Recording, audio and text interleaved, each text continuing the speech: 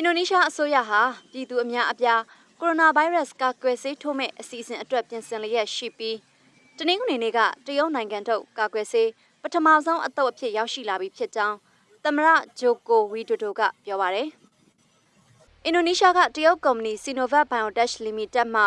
ကာကွယ်ဆေးပမာဏ1.2တန်းကိုလက်ခံရရှိခဲ့တယ်လို့ဂျိုကိုဝီက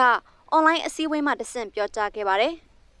အင်ဒိုနီးရှားဟာဇန်နဝါရီလအစောပိုင်းမှာနောက်ထပ်ကိုရိုနာဗိုင်းရပ်စ်ကာကွယ်ဆေးတစ်သက်မှ၈တန်းကိုထပ်မံရရှိအောင်မှာဖြစ်တယ်လို့ဂျိုကိုဝီကပြောပါတယ်။စီနိုဗက်ကာကွယ်ဆေးနောက်ဆုံးအဆင့်စမ်းသပ်မှုတွေကိုဘရာဇီးနဲ့တူရကီနိုင်ငံတွေမှာလှုပ်ဆောင်နေပြီးဘရာဇီးမှာလှုပ်ဆောင်နေတဲ့လက်တွေ့စမ်းသပ်မှုတွေရဲ့ကြားဖြတ်ရလဒ်တွေကိုဒီဇင်ဘာလလယ်မှာသိရပွဲရှိပါတယ်။အင်ဒိုနီးရှားမှာကာကွယ်ဆေးထိုးဆေးပေါင်း15တန်းထုတ်လုပ်ဖို့အတွက် လိုအပ်တဲ့ကုန်ကျန်းတွေနဲ့နောက်လမှာထုတ်လုပ်မဲ့ထိုးဆေးတန်း30စာအတွက်ကုန်ကျန်းတွေကိုလည်းအခုလရရှိမယ်လို့သမ္မတဂျိုကိုဝီကချက်လောင်းပြောကြားခဲ့ပါတယ်။ကာကွယ်ဆေးဟာအင်ဒိုနီးရှားအစားအသောက်နဲ့စေဝါကုတ်ကဲရေးဌာန